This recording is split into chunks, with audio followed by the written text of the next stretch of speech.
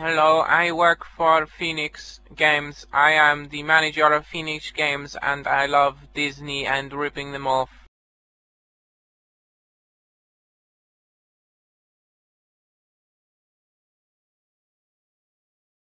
One thing I love more than Mulan is is ripping off Mulan and making better Mulan. It is called the Mighty Mulan. It is much better than normal Mulan. by it.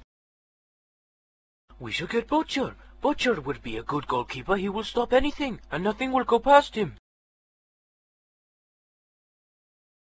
It is simply about like how we are much better than Disney and how we are the brothers of the Phoenix that make the games that are good for the monies. But they say I am too small to play soccer. But Jeremy, you can play soccer. You can go over there.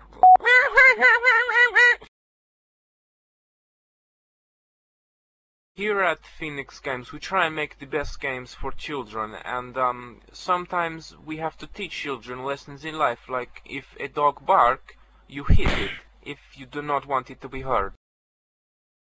In our, in our latest game, we reveal that Disney is secretly planning to um, convert children into slaves, and that we are true.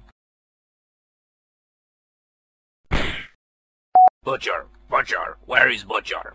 Crow, make yourself useful. Go get Butcher. Uh, back when I first started making the Phoenix, the Phoenix games, uh, was when I was around 16. Back then I was taking a, a lot of drugs.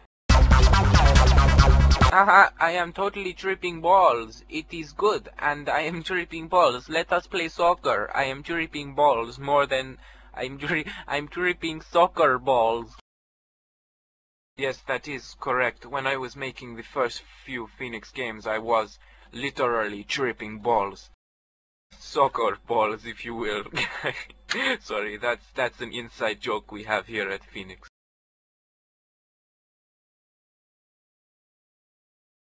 Obviously, when I say inside joke, I mean, you know, I I am I am the only member of Phoenix Games. I am lonely. For oh, for legal purposes, I did have to um I did have to sign that there was there has to be a minimum of six people in a team. So I I made six signatures. Of course, that that is just between you and me. You know, you know, all hush hush. You know, you, you can't tell anyone that. No, really, I'll I'll get bankrupt. You know, you see, if you actually tell anyone, I I will shoot you and I will hide you in my basement at night and I will I will pee on you.